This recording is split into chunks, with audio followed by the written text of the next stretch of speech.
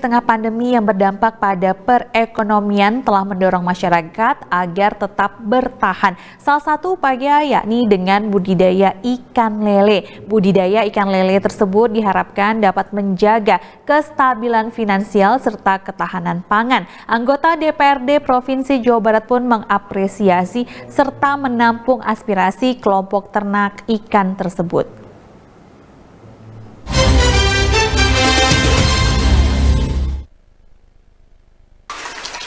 Pandemi COVID-19 yang melanda masyarakat dunia selama hampir satu setengah tahun terus menekan perekonomian masyarakat.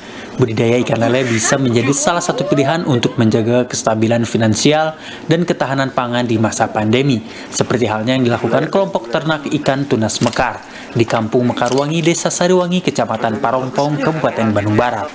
Anggota DPRD Provinsi Jawa Barat, Elin Suharliah, saat jaring aspirasi dalam rangka reses 3 tahun sidang 2020-2021 mengatakan, saat ini masyarakat yang tergabung dalam kelompok ternak ikan tunas mekar cukup antusias dalam kegiatan budidaya.